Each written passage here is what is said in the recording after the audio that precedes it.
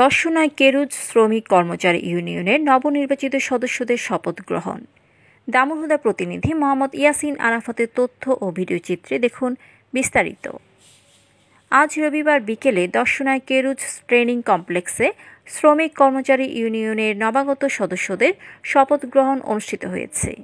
এ অনুষ্ঠানের প্রধান অতিথি কেরু অ্যান্ড কোম্পানির ব্যবস্থাপনা পরিচালক আবু সাইদের উপস্থিতিতে শপথ গ্রহণ করেন নবনির্বাচিত পরিষদের সভাপতি ফিরোজ আহমেদ সবুজ, সাধারণ সম্পাদক মাসুদুর রহমান মাসুদ, সহসভাপতি মোস্তাফিজুর রহমান সহ সম্পাদক খবির উদ্দিন, সাংগঠনিক সম্পাদক হাফিজুর রহমান, দপ্তর সম্পাদক সালাউদ্দিন, প্রচার সম্পাদক মফিজুর রহমান, কোষাধ্যক্ষ শরীফুল ইসলাম, সদস্য বাবর আলী, মতিয়ার সাইফুদ্দিন, মুজিবর ও আজাদ।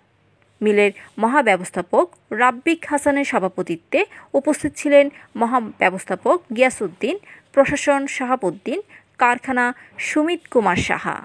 এ সময় সাবেক সভাপতি তৈব আলীর কাছ থেকে দায়িত্বভার বুঝে নেন নির্বাচিত সভাপতি ও সাধারণ সম্পাদক।